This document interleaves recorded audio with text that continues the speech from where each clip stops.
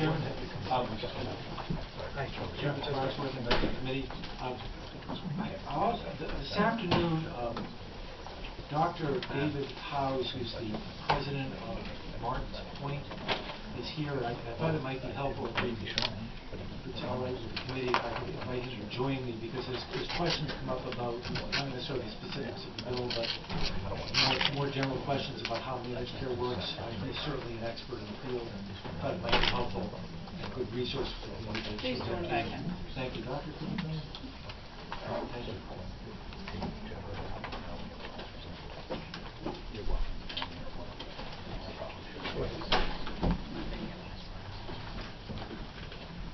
Welcome.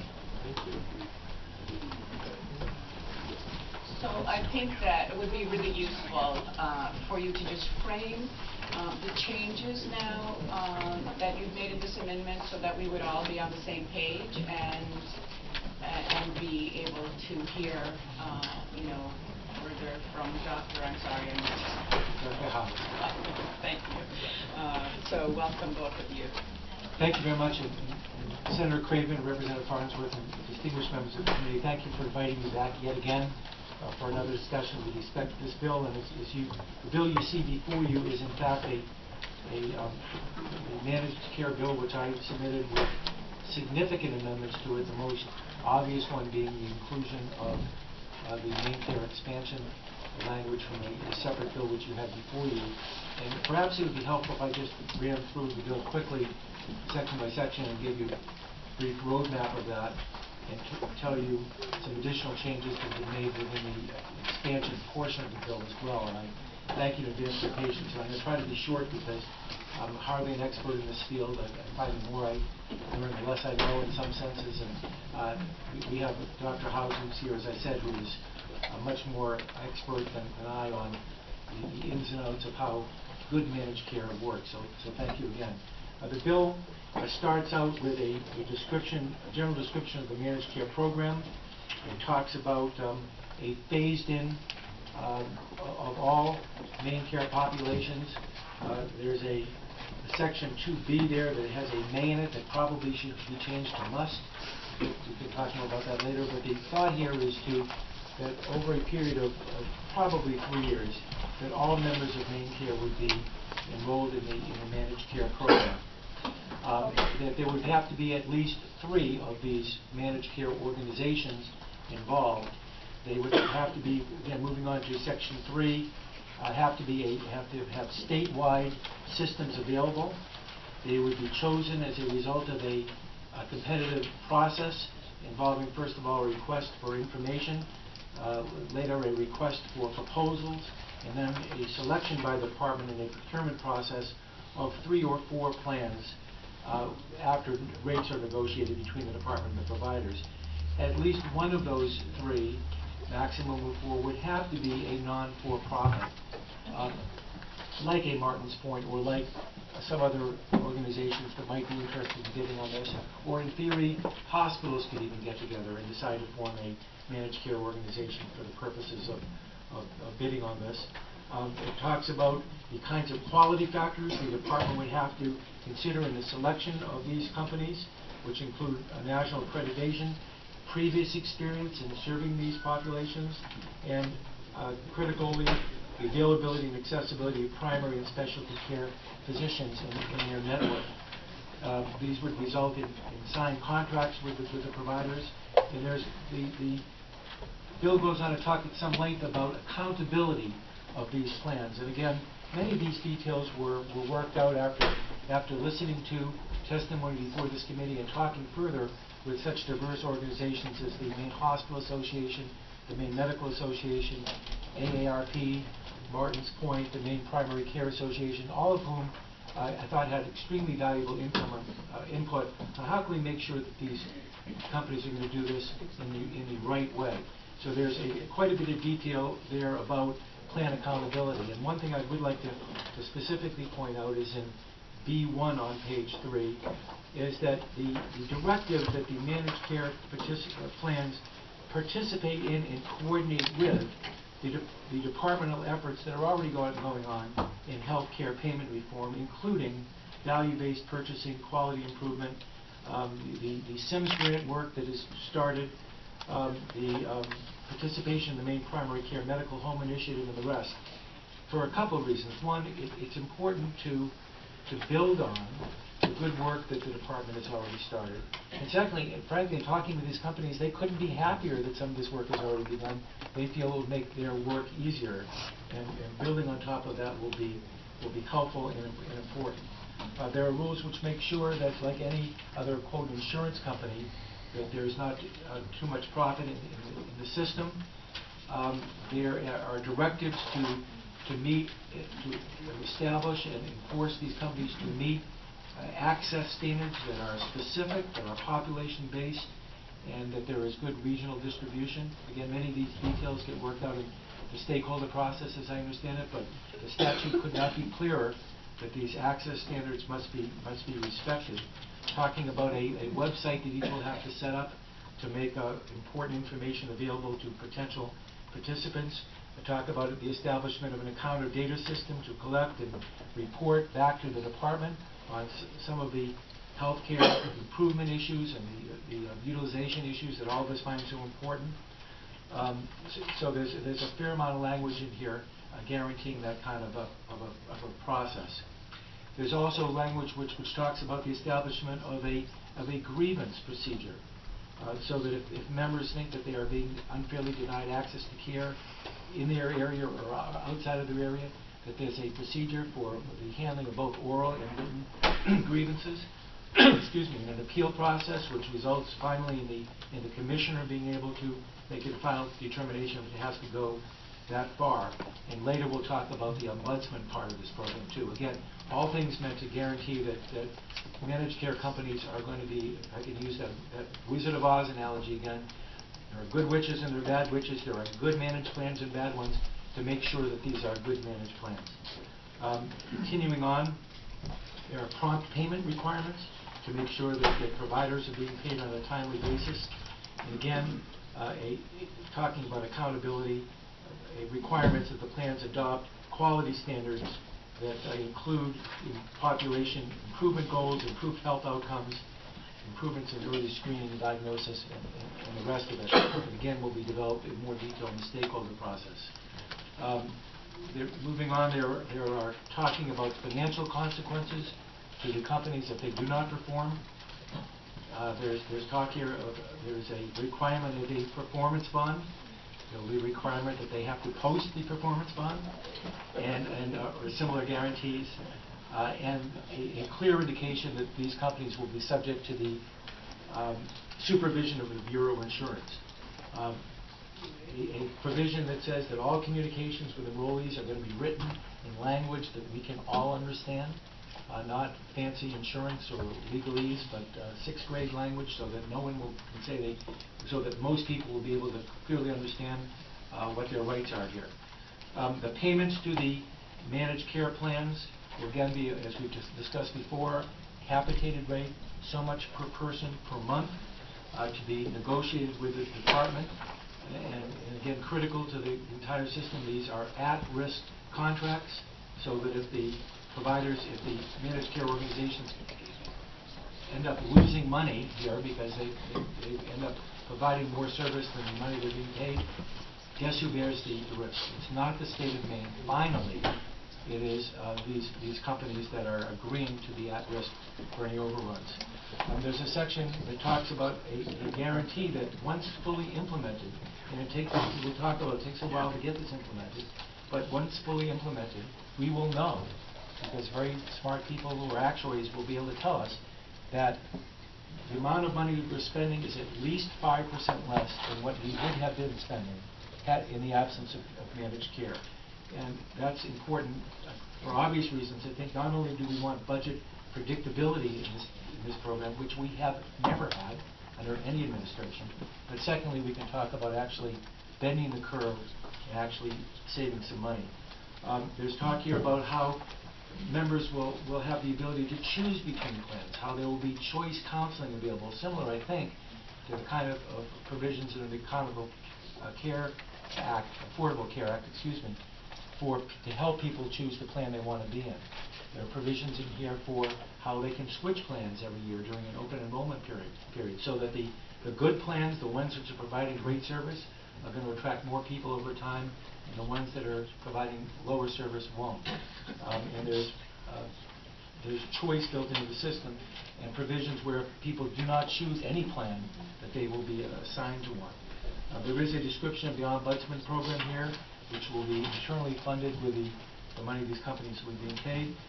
And then, then we get into talking about rule, rulemaking, and again, how can we make sure that this statute, which is long enough as it is, is, but it's gonna result in a contract, which is gonna be hundreds of pages long, which is, which is going to accomplish what we're looking to do here. It's lower cost, it's cost predictability, and it's better health outcomes. It's all three of those things.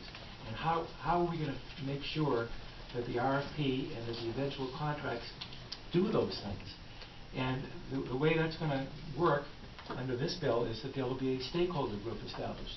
And if you wa- wanna know who's in the stakeholder group, the answer is everyone who has any kind of knowledge or interest in this subject. It was intended to be inclusive, not exclusive. And if you think back to, to the previous effort that was underway a few years ago, it really builds on what Tony Marple was talking about in, in terms of the composition of that stakeholder group.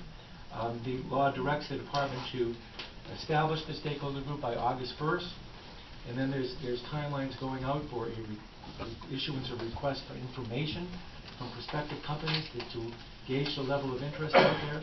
I think it's safe to say, based upon discussions we've already had and the fact that this bill's been kicking around for a year, there is significant interest in the, both in the for-profit and the non-for-profit community in responding to an RFP.